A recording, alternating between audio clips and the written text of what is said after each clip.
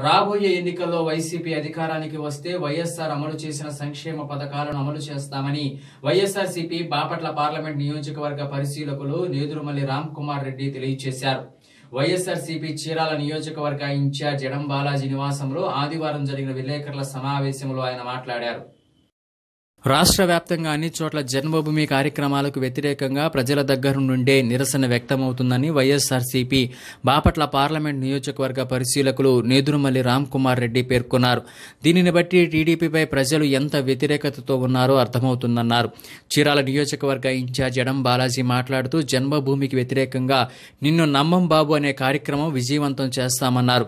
రాబోయే ఎన్నికల్లో జగన్ను సీఎం చేయాలన్నారు. టీడీపీ గత ఎన్నికల్లో పొత్తు లేకుండా ఏ సందర్భంలోనూ పోటీ చేయలేదన్నారు.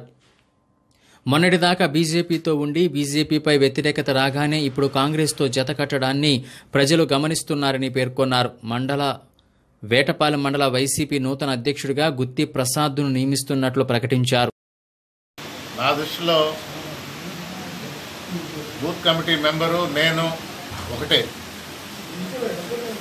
మీ ఇద్దరం కార్యకర్తలమే. వైఎస్ఆర్ కాంగ్రెస్ పార్టీకి కార్యకర్తలం. ఎవరి స్థాయిలో వాళ్ళు పనిచేయాలి? ఎవరు తక్కువ కాదు ఎవరు ఎక్కువ కాదు. మన మీడియా మిత్రుల ద్వారా అందరినీ కోరుకునేది ఒకటే. మనందరం కష్టపడి పనిచేస్తాం. ఇంకొక వంద రోజులు.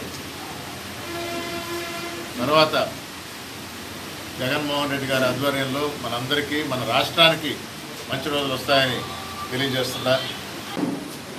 గత సంవత్సరం నుంచి జగన్మోహన్ రెడ్డి గారు ప్రజా సంకల్ప యాత్ర అనునిత్యం ప్రజల కోసం ఆలోచన చేస్తూ ప్రజలు పడుతున్న సాధక బాధలు స్వయంగా తెలుసుకొని అలనాడు రాజశేఖర రెడ్డి గారు ఏ విధంగా అయితే పేద బడుగు బలహీన వర్గాలకు సంక్షేమ పథకాలు ప్రవేశపెట్టారో ఆ సంక్షేమ పథకాలన్నీ ఇప్పుడున్న టీడీపీ ప్రభుత్వం కానివ్వండి నారా చంద్రబాబు నాయుడు గారు కానివ్వండి దొంగలో దొక్కి పేద బడుగు బలహీన వర్గాలకు రావలసిన సంక్షేమ పథకాలన్నీ వారికి చేరువు కానివ్వకుండా వారి బడా వ్యాపారస్తులకి కాంట్రాక్టులు కానివ్వండి సంక్షేమ పథకాలు అయితేనేమిటి వాళ్ళ తొత్తులకి దారాగతం చేశారు. వీటన్నిటిని చూసి చెల్లించి వైఎస్ఆర్ కాంగ్రెస్ పార్టీ రాష్ట్ర అధ్యక్షులు